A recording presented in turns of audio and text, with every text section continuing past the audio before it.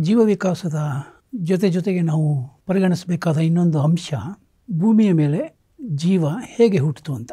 ಇಡೀ ಸೌರಮಂಡಲದಲ್ಲಿ ನಮ್ಮ ಭೂಮಿ ಗ್ರಹದ ಮೇಲೆ ಮಾತ್ರ ಜೀವಿಗಳು ಇದೆ. ಬೇರೆ ಯಾವ ಗ್ರಹದ ಮೇಲೂ ಕೂಡ ಜೀವಿಗಳು ಇರುವ ಬಗ್ಗೆ ಮಾಹಿತಿ ಇಲ್ಲ.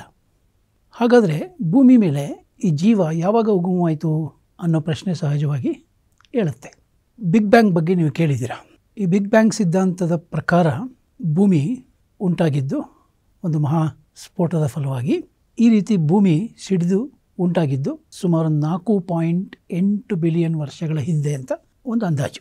ಅಷ್ಟು ನಿಖರವಾಗಿ ಅದನ್ನು ಹೇಳೋದಕ್ಕೆ ಸಾಧ್ಯವಿಲ್ಲ. ಆದರೆ ಭೂಮಿಯ ಮೇಲೆ ಜೀವದ ಕುರುಹು ಮೊದಲು ಕಂಡುಬಂದಿದ್ದು, ಅದು ಕೂಡ ಒಂದು ಅಂದಾಜು, ಮೊದಲ ಕುರುಹು ಕಂಡುಬಂದಿದ್ದು ಸುಮಾರು ಮೂರು ಪಾಯಿಂಟ್ ಎಂಟು ಬಿಲಿಯನ್ ವರ್ಷಗಳ ಹಿಂದೆ ಅಂತ ಹೇಳಲಾಗುತ್ತೆ.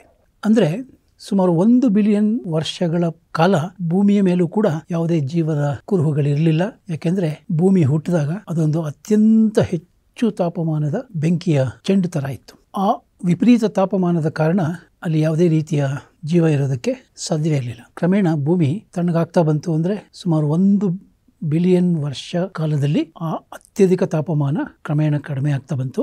ಎಲ್ಲಿವರೆಗೆ ಕಡಿಮೆ ಆಯಿತು ಅಂತಂದರೆ ಭೂಮಿಯ ಸುತ್ತಲೂ ಇದ್ದಂಥ ರಾಸಾಯನಿಕ ವಸ್ತುಗಳು ಒಂದಕ್ಕೊಂದು ಸೇರಿ ಸಂಯುಕ್ತಗಳಾಗುವಂಥ ಒಂದು ಸಾಧ್ಯತೆ ಕಂಡುಬಂತು. ಅಂದರೆ ಜೀವದ ಉಗಮ ಒಂದು ರಾಸಾಯನಿಕ ವಿಕಾಸದ ಫಲ.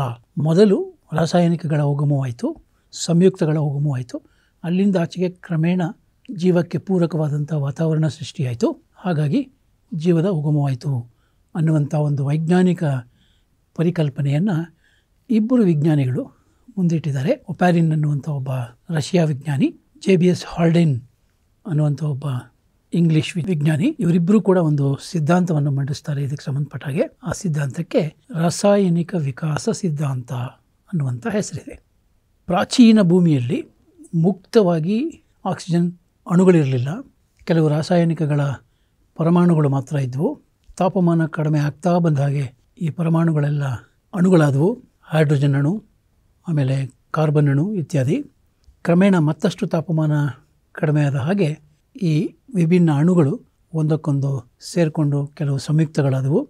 ಮೀಥೇನ್ ಉಂಟಾಯಿತು, ಕಾರ್ಬನ್ ಡೈಆಕ್ಸೈಡ್ ಉಂಟಾಯಿತು, ಅಮೋನಿಯಾ ಉಂಟಾಯಿತು. ಇದೇ ರೀತಿ ಹಲವಾರು ಸಂಯುಕ್ತಗಳು ಉಂಟಾದವು.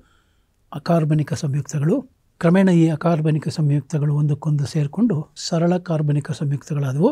ಉದಾಹರಣೆಗೆ ಮೊನೊಸ್ಯಾಕರೈಡ್ಸ್ ಅಥವಾ ಫ್ಯಾಟಿ ಆ್ಯಸಿಡ್ಸ್ ಅಥವಾ ನ್ಯೂಕ್ಲಿಯೋಟೈಡ್ಸ್ ಅಥವಾ ಅಮೈನೋ ಆ್ಯಸಿಡ್ಸ್ ಈ ರೀತಿಯ ಸಂಯುಕ್ತಗಳು. ಅವುಗಳು ಸೇರಿಕೊಂಡು ಬೃಹತ್ ಅಣುಗಳಾದವು. Polysaccharides lipids, proteins, nucleic acids ಇತ್ಯಾದಿ. ಇವೆಲ್ಲ ಒಂದು ವಿಶಿಷ್ಟ ಸಂಯೋಜನೆಯಲ್ಲಿ ಸೇರಿಕೊಂಡು ಕೋಸರ್ವೇಟ್ಗಳಾದವು ಆ ಕೋಸರ್ವೇಟ್ಗಳು ಕ್ರಮೇಣ ಸುತ್ತಲೂ ಒಂದು ಮೆಮ್ರೇನನ್ನು ಸುತ್ತುವರಿಸ್ಕೊಂಡು ಮೊಟ್ಟ ಮೊದಲ ಜೀವಕೋಶಗಳಾದವು ಅಂತ ಈ ರಾಸಾಯನಿಕ ಸಿದ್ಧಾಂತ ಹೇಳುತ್ತೆ.